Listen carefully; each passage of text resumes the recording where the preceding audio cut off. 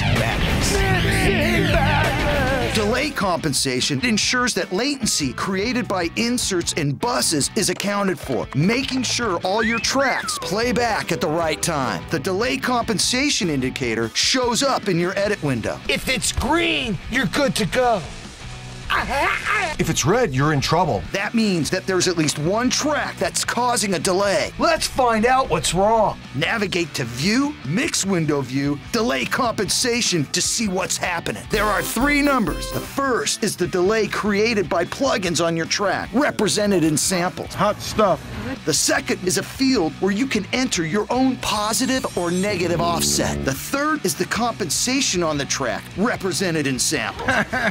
if you're in the green, you're good to go. Yeah, baby. Numbers in orange represent tracks that require the most compensation. Numbers in red exceed the compensation able to be managed by Pro Tools. You can turn delay compensation on and off from the options menu. I recommend using the highest setting possible as long as your CPU can handle it. The more plugins you have, the more you're gonna need it. I need it!